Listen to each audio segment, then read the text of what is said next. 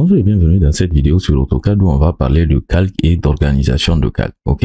Donc, dans votre utilisation d'AutoCAD, l'organisation ou du moins la création et l'organisation, la manipulation de façon générale des calques sera un des éléments les plus importants qu'il vous faudra maîtriser pour travailler de façon sereine à l'intérieur du logiciel. Ok?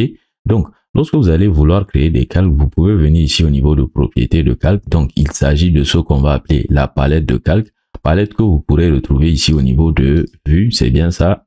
Au niveau des palettes, vous allez retrouver les calques quelque part là, c'est parfait. Ou vous pourrez tout simplement faire appel à cette palette là en utilisant le raccourci clavier PL. Donc ça sera la plupart des cas ce que je vais faire. OK?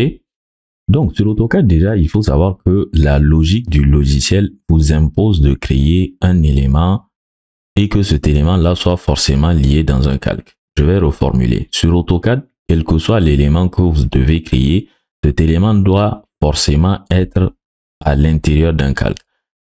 Ceci impose donc au logiciel de s'assurer que vous avez au moins un calque dans votre gabarit. C'est pour ça que vous verrez en général que dans le gabarit par défaut, vous avez ce calque 0 là. Et je tiens à préciser que ce calque là, vous ne pourrez pas le supprimer. Il y a d'ailleurs un certain nombre de calques ici que vous ne pourrez pas supprimer mais l'un des calques les plus restrictifs, ça sera le calque 0 que vous ne pourrez pas supprimer, ok?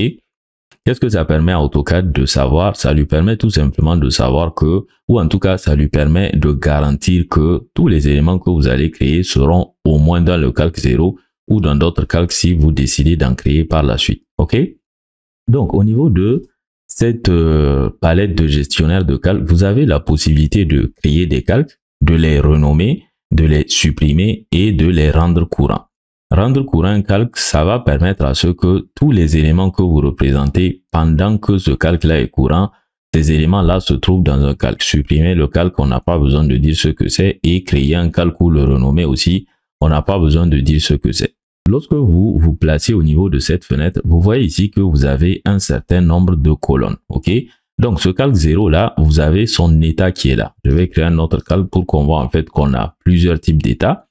Vous voyez son état qui est là. La petite flèche qu'on voit qui ressemble au symbole qu'on voit ici, ça veut dire tout simplement que ce calque là est courant. Je rappelle que lorsqu'un calque est courant et que vous dessinez un élément, cet élément là va automatiquement se retrouver dans le calque. Lorsque je dis dessiner, il ne s'agit pas uniquement des éléments de dessin, il s'agit aussi des éléments de dessin que vous allez obtenir après modification et même des éléments d'annotation. Donc ici, tel que je le disais, vous avez un certain nombre de colonnes. Vous avez l'état, vous avez le nom du calque que vous pourrez changer. De façon générale, lorsque vous vous placez sur un calque et que vous faites clic droit, vous avez en général un menu contextuel qui fait son apparition et qui va vous donner des informations comme renommer, créer, dupliquer, ainsi de suite. OK? Vous pourrez activer, désactiver un calque, vous pourrez le geler, le dégeler. La différence entre activer et, geler, ou du moins désactiver et geler, il faut savoir que au niveau de la différence visuelle, les deux éléments vont vous donner le même résultat dans le sens où l'élément ou en tout cas le calque qui sera désactivé ou gelé, ce calque-là, les éléments qui appartiennent à ce calque-là ne seront pas visibles. Par contre, lorsqu'un calque est gelé, vous ne pourrez pas le rendre courant. A priori, compte tenu du fait que vous ne pourrez pas le rendre courant, vous ne pourrez donc pas l'utiliser pendant qu'il est gelé. On est bien d'accord. Par contre, lorsqu'un calque est désactivé, vous pourrez le rendre courant, ce qui va vous permettre de dessiner directement à l'intérieur de ce calque. Attention par contre, ce n'est pas quelque chose de conseillé parce que ça pourrait vous perturber. Si le calque est désactivé et qu'il est courant, vous allez souvent dessiner un élément. Logiquement, vous n'allez pas voir l'élément parce que le calque auquel il appartient est désactivé et vous allez peut-être vous dire que vous n'avez pas dessiné, que vous allez réessayer de dessiner vous aurez en fait en ce moment des duplicata. OK? Vous pourrez verrouiller un calque. Le verrouiller, ça va vous permettre de le voir sur l'espace objet, mais il sera légèrement estompé. Et aussi, il ne pourra pas être déplacé, il ne pourra pas être modifié de façon générale. Toutes les commandes de modification ici que vous verrez ne pourront pas s'appliquer à un élément qui appartient à un calque verrouillé. Vous avez d'autres informations encore comme le type de ligne. Le type de ligne, est-ce qu'il est continu, est-ce qu'il est discontinu, est-ce que c'est un trait d'axe, est-ce que c'est un trait, par exemple, pour l'électricité, ainsi de suite? Vous avez les épaisseurs de ligne, c'est assez clair en elle-même. Vous avez la transparence et vous avez la possibilité de geler dans des nouvelles fenêtres et une description ici. OK?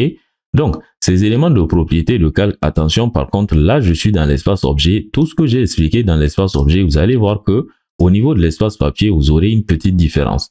Vous voyez que dans l'espace objet, après geler, après activer geler, j'ai directement verrouillé, alors qu'au niveau de l'espace API, on a une nouvelle information qui fait son apparition. En plus de ça, vous avez la possibilité de gérer vos couleurs de façon différente. Vous voyez que ici, AutoCAD me permet de gérer la couleur du calque 0 en espace objet différemment de sa couleur au niveau de la fenêtre en question, ce qui pourrait être très intéressant toujours dans la gestion des calques. On peut désactiver un calque au tracé. Ça me permet tout simplement de dessiner des éléments dans ce calque-là en étant sur l'espace objet, mais lorsque je serai en présentation, ou du moins lorsque je vais aller imprimer ce plan-là, que ce soit une impression physique ou bien numérique, les éléments qui vont appartenir au calque en question ne seront pas visibles. OK? Donc, lorsque vous créez les calques, vous avez plusieurs façons de les gérer. Une façon de les gérer, ça sera de leur donner des noms qui sont assez clairs en eux-mêmes. Par exemple, lorsque je vais faire des cotations, je n'ai pas intérêt à les faire dans un calque que j'aurais appelé mur. Ça, c'est assez évident ça va dans le bon sens, ok? Donc, lorsque je vais vouloir créer des éléments de mobilier, je vais probablement créer un calque que je vais appeler mobilier, calque dans lequel je vais placer ces éléments de mobilier-là. En plus de ça, on peut aller dans une gestion plus intéressante, plus intelligente si vous voulez, des calques. Par exemple, admettez que on doit faire sur le même projet de l'architecture et de la structure.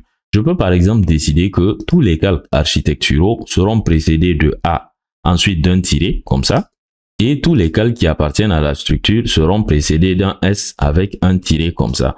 Ce qui va me permettre tout simplement de pouvoir les identifier très facilement. En plus de pouvoir les identifier très facilement, au niveau des calques, je sais que je peux créer des filtres, donc des filtres de propriété ou des filtres de groupe.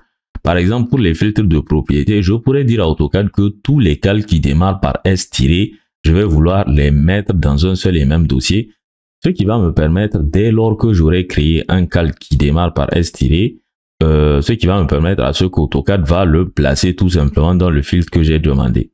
Au niveau de la gestion des calques, vous pourrez vraiment gérer pas mal d'informations sur les calques. Vous pourrez le rendre courant, tel qu'on l'a dit, vous pourrez verrouiller, vous pourrez geler, dégeler, geler, ainsi de suite, et vous pourrez même isoler des éléments de calque. Autrement dit, si vous avez un dessin sur lequel vous avez plusieurs éléments, vous pourrez décider d'isoler un seul ou plusieurs calques afin de vous focaliser mieux sur votre travail. Ensuite enfin, sachez que vous avez d'autres propriétés complémentaires ici. Une des propriétés les plus intéressantes à ce niveau, c'est de pouvoir créer un état de calque qu'AutoCAD pourra enregistrer pour vous permettre de l'utiliser plus tard.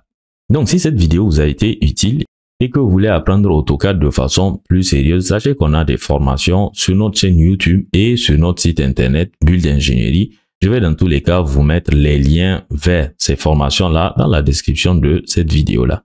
Merci donc d'avoir suivi cette vidéo en espérant qu'elle vous aura permis de voir un peu plus clair sur la gestion de calque.